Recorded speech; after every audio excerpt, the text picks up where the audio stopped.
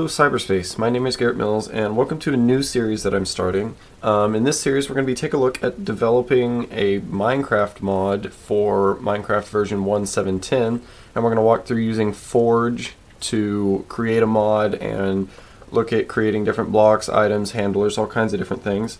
So in this video we're going to walk through setting up the environment. Now I'm using Ubuntu Linux However, because Minecraft is developed in Java and Java runs on Linux, Windows, and Mac, um, all of the development is going to be the same across all three platforms, and the setup of the environment is basically the same on all three platforms. But I'll be careful to note out uh, where, if anywhere, there are any differences that you need to be aware of. So with that in mind, we're going to go ahead and get started setting up the environment.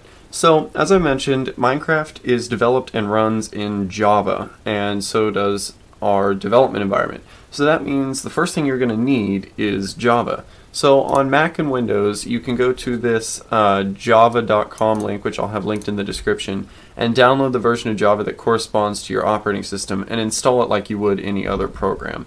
That will um, get the command line version of Java running for you. You want the JDK um, for development. So that will be linked in the description. However, for Linux users, we can install OpenJDK via the command line. It's just a little cleaner, nicer, and easier to maintain. So on Ubuntu, you're going to want to run sudo apt-get install OpenJDK version 8 JDK. Yes. Enter our password and it's going to go download and install the OpenJDK version 8.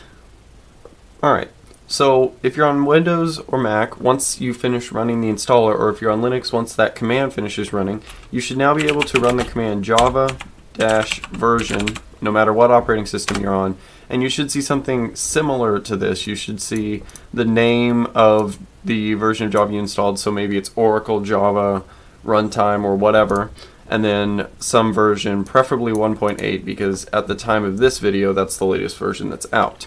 So after we've got Java installed, the next thing to install is our IDE. The IDE is where you're going to write all your code for your mod and it um, bootstraps or sets up your mod code and allows you to run it in game so you can test blocks or mechanics that you add into the game.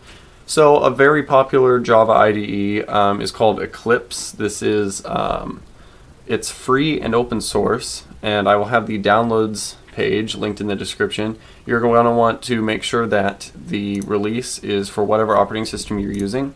Scroll down to Eclipse IDE for Java developers, not Java EE developers, and then hit download for whatever CPU architecture you have. So once it's done downloading in Mac and Windows, you can just run the installer and it'll install to the default folder and you can launch it from there. But in Linux, um, it just gives us the installed folder, so we just have to extract it to somewhere. So I'm going to put this in my Documents folder.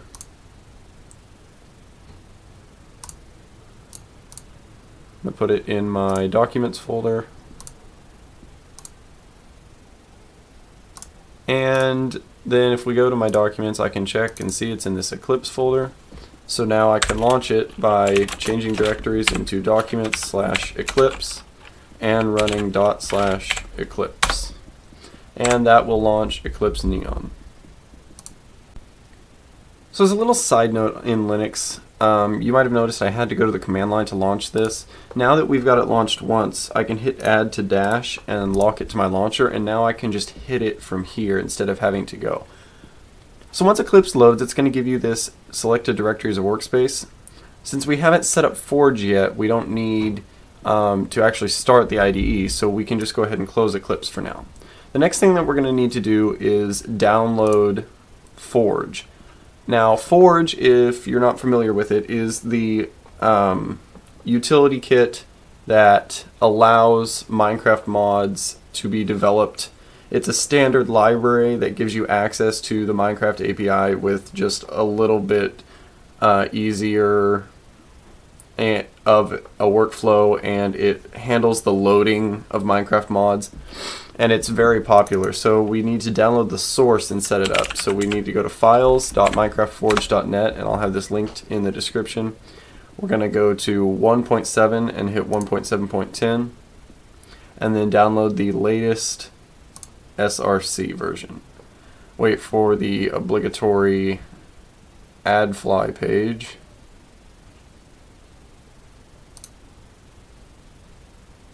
And download it. Now once it downloads, we can open this up and you see we've got some folders and files in here. This is going to be our development environment. So we want to extract it to a place where we keep all of our code. So I keep all of my code in my documents folder. So in here I'm going to want to make a folder called modding or something to that effect. It doesn't really matter. Then we're going to just make a test folder for our mods. So tutorial mod.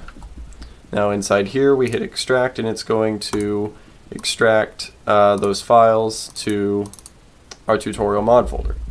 Now that we've done that, we can go ahead and set up um, the Forge workspace because just like just like a Minecraft launcher has to download Minecraft when you run it, the Forge environment doesn't come with all the Minecraft files. It has to download them um, when you set it up. So from my documents folder, I can cd into the modding and then the tutorial mod folder and I want to run Gradle W and this command works on all platforms Windows, Mac, and Linux. I want to run Gradle W setup decomp workspace. What this command is going to do is it's going to go download um, the Gradle loader and it's going to go download the Minecraft source and it's going to decompile it and set it up for um, development. So this command will take a little bit uh, to run because it's got to download all the source and it's got to decompile and set it up. So it may take anywhere